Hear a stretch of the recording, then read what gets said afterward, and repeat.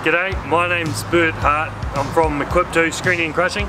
We're here today to talk about the Keestrack B4 jaw crusher. So here at Equip 2, what we do is we um, help quarry owners enhance productivity and profitability and lower risk.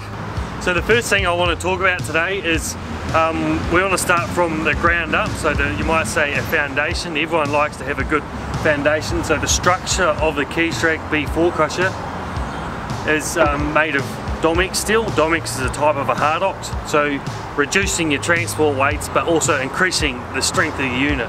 Also part of that structure we've got the conveyor structure that's actually made of stainless steel. The reason that Keestrack do this area, the section of the conveyor that's based under the magnet out of the stainless is that's not pulling upon the magnetic fields, therefore decreasing the life of the magnet. So the magnet here we've got here is 600 gauge, giving you extra pull. So for the recycling industry, um, there's no arguing with that steel. So at the end here, we've got the conveyor here. That's actually split and pivots at this point here. So that there minimises your transport length, taking it about two metres off the length of the crusher. So that's all driven hydraulically from the machine, no manual requirements needed. So here we've got the, the hopper walls. The hopper walls align with Hardox wear plates, so 450 grade.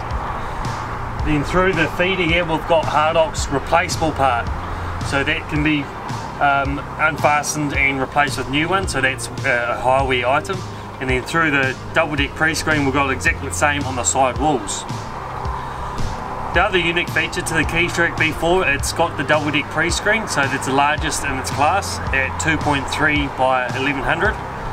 The idea of a pre-screen is to give more agitation to the product and either pulling the product out, so as a GAP 40, or bypassing underneath the jaw crusher. So the idea of this is, so the jaw crushers are designed to crush rocks, they're not designed to crush fines. So when you have too much fines in a jaw crusher, it puts them under too much pressure, too much stress and increases your wear. So minimizing that wear being, brings more productivity time and less downtime. So we're here now in the engine unit area up on the catwalk. So we're running the Cummins engine in this model. So for the hydraulic system, Keestrack run a load sense hydraulic system which is on the piston pump. The reason they go to this, it's a more expensive option but it's lowering the fuel usage. So the Keestrack B4 does about 19 to 22 litres an hour depending on the, the rock it's being fed. So it's, it's, it's a very low fuel usage, saving cost. The engine's very easy to maintain, everything's accessible, filters, and for draining oil it's done at ground level. So you plug in your hose with a quick coupler and drain your oil. So therefore lowering your risk and making it easy to, to maintain. Going back to the piston pump idea, the the other feature that this has is with this remote here, I can walk the crusher from the cab. So while the machine's actually crushing, we can still move it along the ground. So Keestrack to a mobile crusher and it's a, it's a truly a mobile crusher. The other systems, you've got to hop off the machine, down to the panel, change up your hydraulics, and then back up to your digger again. So Keestrack tries to take away the, the risk factor of the operator injuring himself less times he has to hop in and out of his digger, the better it is. This is head office of the machine. Everything's done from here and from the remote.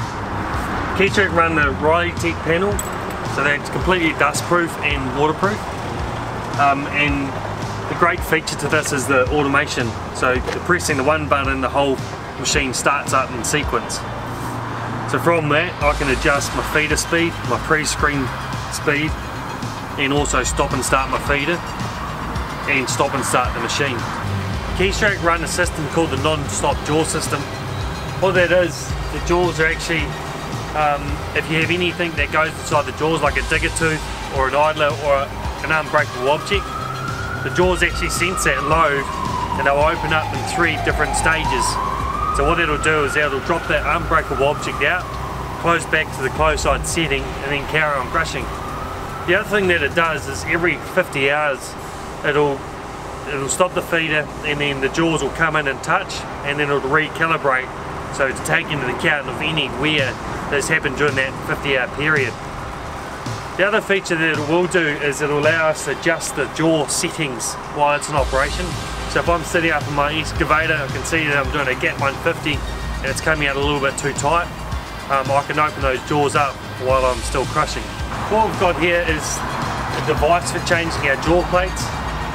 These bolts here, they swing off and the whole hopper actually hydraulically slides back 600 mils. The purpose of that is to give us more access to the back of the fixed jaw to be able to change our jaw plates. So the operator or the mechanic can actually get down in there and change all those bolts out. So we're not filling out a permit for tight spaces um, and it's making it easier for our men on the ground and improving our uptime.